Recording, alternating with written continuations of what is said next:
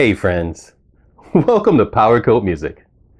In this presentation, we are going to do a quick overview of the Yamaha DM7 Compact 72 channel digital mixer. After the release of the Yamaha DM3 digital mixer model series, some felt this product line fell short in terms of inputs, onboard features, and functionality. With this, on June 6, 2023, Yamaha released the DM7 series of professional digital mixers, which is the next level of the DM model line. The new DM7 model series of digital mixers consists of five different models.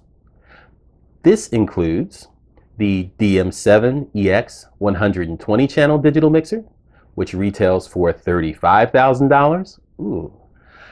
The second is the DM7EX Compact 72 channel digital mixer, which retails for $20,000. The DM7 120 channel digital mixer, which retails for $30,000. And the DM7 Compact 72 channel digital mixer, which retails for $15,000. As you can see, Yamaha spared no expense. Again, the focus of this presentation is the DM7 Compact 72 channel digital mixer. In this overview, we'll cover the unit's features, technical specifications, front and top panel controls, and back panel.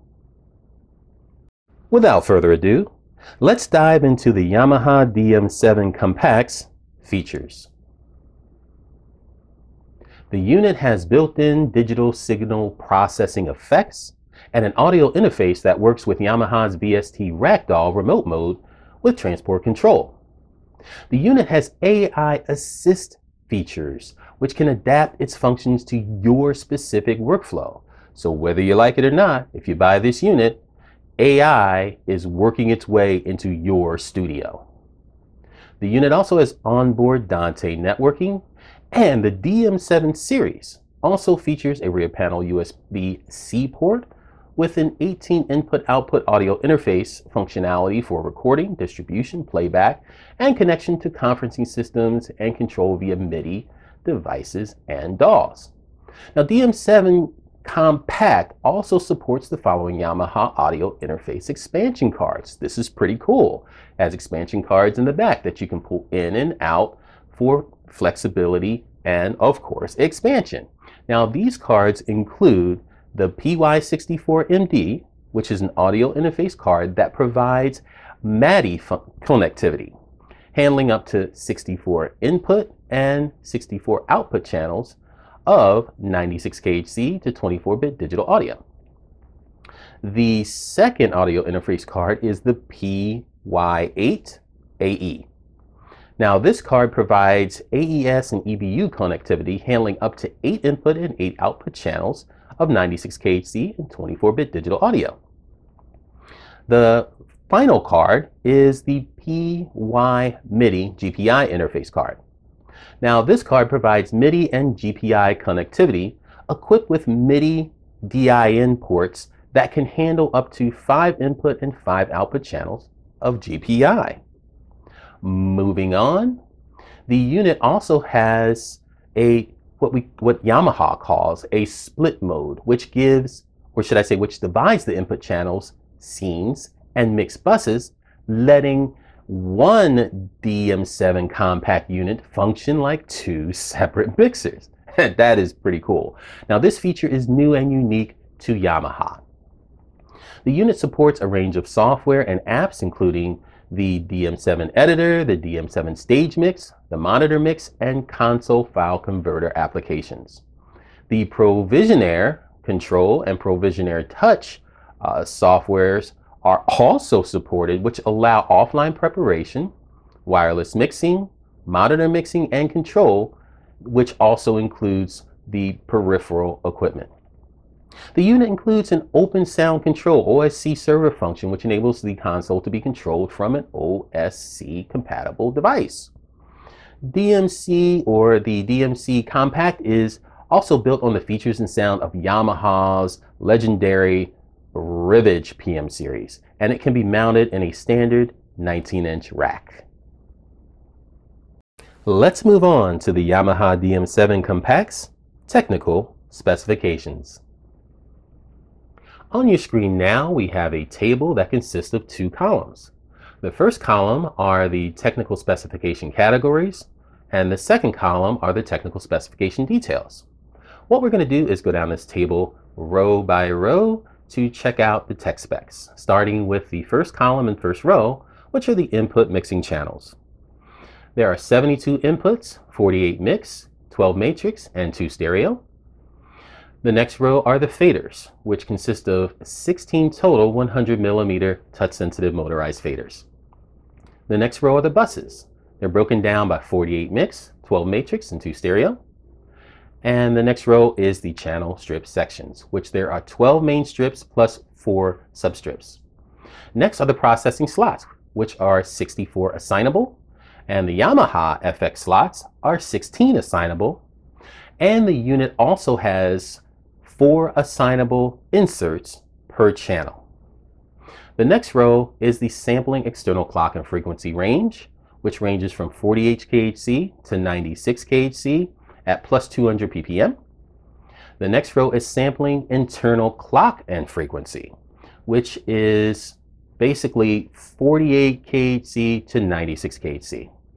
The next row are the screens. There are two of them. The first screen is a 12.1 multi, multi-touch screen, and the second is a 7-inch multi-touch screen. When it comes to analog I.O., which is the next row, there are 16 inputs and 16 outputs. For the Dante interface, there is 144 in and 144 out. For the AES EBU interface, there's one out for that. And when it comes to slots, there's one PY slot. Now this PY slot accommodates the expansion audio interface cards that we talked about earlier. So there's one slot that you can swap out cards for that. The next row is the USB audio interface, which is 18 in and 18 out. The next row is your power supply. We have a redundant built-in power supply with the unit. The next row is the power requirements. You can check out the specs there. And below that is the power consumption, which is 240 watts. The next row are the dimensions of the unit, which are broken down by width, height, and depth. And the last but not least is the weight, which the unit weighs in at 36.4 pounds, which is pretty heavy for a compact digital mixer, but there you have it. We'll now check out the Yamaha DM7 Compact's top and front panel controls. Starting with the top panel controls. The unit has two touchscreens.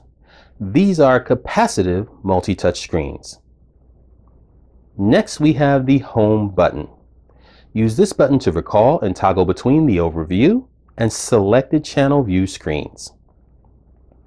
Next, we have the fader bank button. This button assigns the function to the faders on the panel. After that, we have the Sends on Fader button. Use this button to switch the Sends on Fader mode on or off. When this mode is turned on, you can use the channel strips to adjust the send level of the signals sent to the mixed matrix bus. After that, we have the encoder mode button. Use these keys to display the screen on the corresponding base screen to switch between functions for the encoders located below the touch screens. These encoders feature the following two functions. Number one, the screen encoder function. Up to 12 parameters can be assigned to the encoders via the touch screens. The second function is the channel encoder function. Parameters for 12 channels on the channel strips can be assigned to the encoders using this function. Moving on, we have the channel strip sections. This enables you to adjust the main parameters for the currently selected channels. It's that simple. After that, we have the touch and turn knob. Use this knob to control the parameter of the knob selected via the touchscreens. Next, we have the shift button. Combined with other keys, you use this button, push this button and another key to perform a specific function. Moving on, we have the user-defined keys. They enable you to control the assigned function. Now use the bank button to switch banks. Next, we have the main section. This section enables you to adjust the main parameters for the assigned channels. Now, by default, stereo A and stereo B are assigned to channels C and D. Moving on, we have the LED lighting bar. This illuminates the operation panel in a dark space or dark place. Next are the USB connectors. These are USB Type A connectors. Use these connectors to connect a USB storage device, such as a USB flash drive. The, support, the supported USB flash drive formats are FAT16 and FAT32. Let's move on to the front panel controls, and there are two of them. The first is the phone's level. Now you use this knob to adjust the level of the signal output from the phone output jack. The second is the phone's jack. Now this is a headphone socket for monitoring the monitor or cue signal. Finally, we'll review the Yamaha DM7 Compact's back panel. We'll start with the Omni Out section. These are 16 balanced XLR 3-pin chassis output connectors that transmit analog audio signals. Moving on, we have the input section. These are 16 balanced XLR 3-hole chassis input connectors for analog audio signals from line level devices or microphones. Moving on, we have the cooling vent. Now, this product is equipped with a cooling fan. This vent lets warm air escape from the unit. So make sure that you don't block it uh, you don't block this vent with any object because the air is taken in through ventilation ports at the rear and under the front of the unit. Moving on, we have the AC in connectors, both A and B.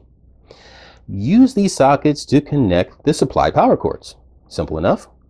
After that, we have the power switches, and there are two of them. This toggles between power on and off. Now, if you plan not to use the unit for a long period of time, remove the cords from the AC outlets. Simple enough, right? After that, we have the AES EBU out. Now, this out connector is a balanced XLR 3-pin chassis output connector for digital audio signals in the AES EBU format. After that, we have the TC IN. This is a balanced XLR 3-hole chassis input connector that accepts time code signals from the connected external device. After that, we have the word clock out and in. These are BNC sockets used to transmit and receive word clock signals to and from an external device. The word clock in is internally terminated by a 75 ohm resistor.